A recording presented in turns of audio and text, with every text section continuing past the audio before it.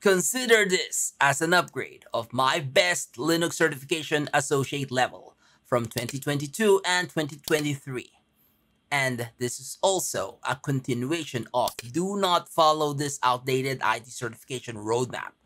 From this video, I just simply reacted and agreed on most of the discussion and shared knowledge by Asa Busharif. And uh, one of the things that I mentioned and recommended is to go learn Linux first. Go learn Linux before you go to cloud, before you go to DevOps, and before going for security or cybersecurity career. And how about networking? Well, networking or CCNA level knowledge is also good, but we've already talked about this. And if you missed the discussion, kindly watch this video. So now, in this video, we will talk about the best Linux certification that you should take. And it's not just about taking it. This video can also help you strategize your career. And as usual, comment below and shout out your location. Like nice video Dean from Ghana, Madagascar, Estonia. But if you are in a large country, please also mention your city. Like from Chennai, Kentucky, Rustenburg, etc. Before we begin, take note that all of these five certifications are beginner, entry, associate, or admin level. Not all of these certifications has the same difficulty level. Not all of these has the same price. And that's what we're gonna talk about and highlight. Alright, so fifth spot is LPIC 1 or Linux Professional Institute 1. It covers Linux architecture, file system, shell scripting, network and security fundamentals, etc. For an associate or admin level certification that requires two exams, uh -uh, I'm not really a big fan. And for the difficulty level, I will give this um, 3 out of 5 star. It can be 2.5, but since it requires two exams, I will give it 3 out of 5.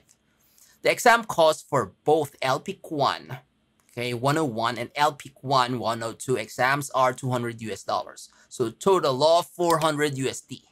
Each exams are 60 questions, written type. Now let's talk about the advantages, pros. Okay, so this is a five-year validity. And this is actually longer than most certifications. This certification is renewed after passing a higher level exams. This certification is also popular and well recognized LPI, this organization, is already 25 years old. Let's talk about the disadvantage, cons. Again, two separate exams to attain the cert, not good for me. Now, with the same certification organization, you may continue with LPIC 2, then LPIC 3. And for LPIC 3, we have four different tracks.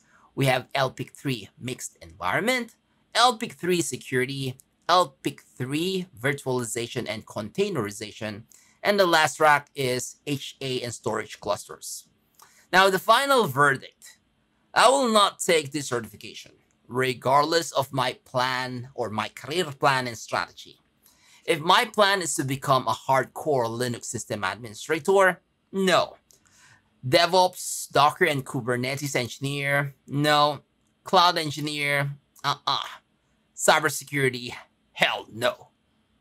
Next, or the fourth spot, this is Linux Foundation Certified IT Associate or LFCA from Linux Foundation. Probably the easiest Linux certification out there. It covers basic and generic Linux commands, Linux system administration, cloud computing fundamentals, security, DevOps tools, etc. Now, I will give this a difficulty level of 2 out of 5 star but it can be a little less than that. Let's skip 2 out of 5, shall we? Now, the exam cost is 250 US dollars, without discount yet.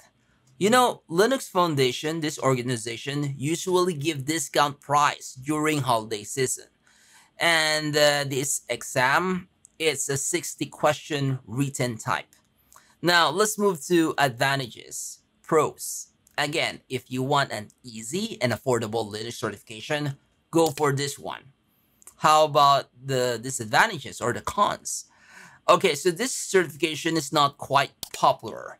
and it expires after three years and it doesn't renew even after passing a higher level exams. Now, with the same certification organization, this Linux Foundation, you may continue with these certifications. We have Linux Foundation Certified Linux Administrator or LFCS. We also have Certified Kubernetes Application Developer or CKAD or CKAD. What else? We have CKA, a certification that I also have. CKA stands for Certified Kubernetes Administrator. And lastly, we have CKS, uh, Certified Kubernetes Security Specialist. It's supposed to be CKSS, right? Anyway, here's the final verdict. I would go for the certification if I want to complete a Linux certification fast, then straight to a specialization. You see, part of your certification journey is to consider the time and effort for every certification you take. So if I'm new to the industry, I will go for the certification, LFCA. Then I'll go for CKAD next. Then CKA, then maybe CKS. It depends on my situation. I will not take the certification if I want to become a, a hardcore Linux administrator. I wouldn't go for this path, LFCA, then LFCS. Nope. Alright, so fourth and fifth spot, these are not priority, so let's move this to. Let's focus now on the top three. So in our third spot, this is Red Hat Certified System Administrator, or RHCSA. This is the most difficult Linux exam certification in our list. It, it is also a vendor-specific certification. Topic includes Linux essential commands, storage management, networking, security, automation, troubleshooting, etc. I will give this the highest difficulty level in our list. I will give this 4 out of 5 star. The exam cost is 400 US dollars and it's a 3 hour hands-on lab exam. How about the pros, the advantage? Well, this certification is well recognized. And since this is the most challenging associate and admin level certification, this means you will learn a lot and improve your Linux skills better. For the disadvantage or the cons, the preparation time passing the certification will take longer than any other Linux admin or associate level certification. Now, with the same certification organization, Red Hat, you may continue with RHCE or Red Hat Certified Engineer and or RHCA Red Hat Certified Architect. Final verdict. Um, though RHCSA is a great certification, it will take you more time and effort completing the certification than other admin or associate level Linux certs. RHCSA and RHCE are not my ideal certification combo. RHCSA, RHCE, and RHCA are also not my ideal certification trio. I would only recommend you to go for the certification if you want to be a hardcore Red Hat Linux administrator or engineer.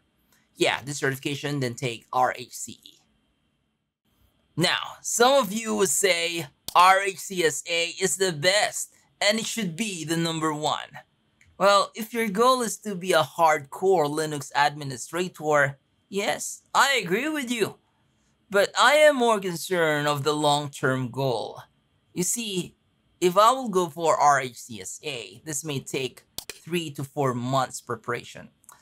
I would rather go for LFCA, 1 month preparation, than 2 months for CKAD.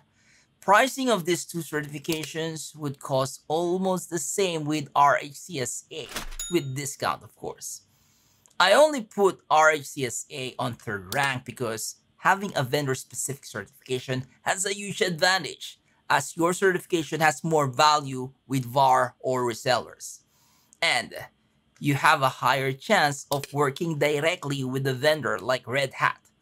RHCSA is also non-expiring certification. Again, it's not my first choice.